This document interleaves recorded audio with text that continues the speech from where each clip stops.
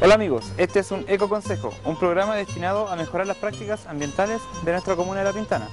El día de hoy vamos a aprender a hacer huertos verticales, una opción para hogares con espacio reducido. En las casas de la comuna de La Pintana sabemos que hay eh, muy poco espacio para cultivar, por lo tanto vamos a hacer un huerto de cultivos verticales. Para aquello necesitamos eh, los siguientes materiales.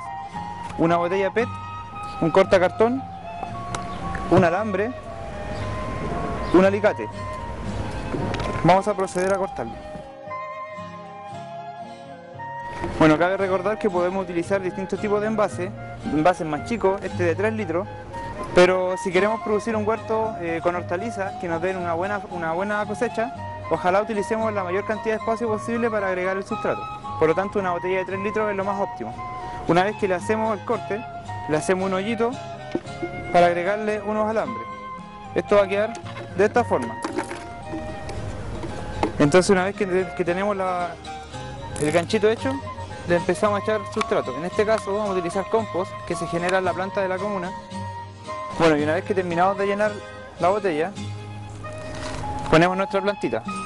En este caso, nosotros estamos proponiendo, y para promover la agricultura urbana dentro de la comuna, que sean plantas de hortalizas. En este caso vamos a poner una lechuguita. Podemos poner cualquier tipo de cultivo, obviamente que corresponda a la estación. En este caso la lechuga nos da todo el año, así que nos sirve. La trasplantamos con cariño, le ponemos la, tierrita sobre la raíz.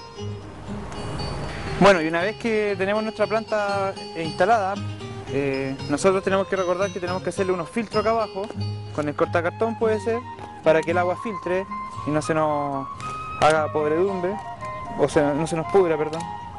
Eh, y además, eh, recordemos que las raíces de las plantas son fotosensibles, por lo tanto ojalá podamos pintarlas o ponerle algún tipo de protección que haga de capa contra el sol. Eh, y con eso, más un riego inmediato, esta plantita yo creo que todos los días un poco de riego le haría súper bien. Está listo nuestro huerto vertical. Bueno, recordemos que podemos utilizar cualquier tipo de recipiente que sirva de reciclaje, Pueden ser botellas más chicas si que queremos una planta sin tanta producción. Podemos utilizar envases de lata, haciéndole los hoyitos siempre abajo. Podemos utilizar baldes grandes para hartas plantas juntas.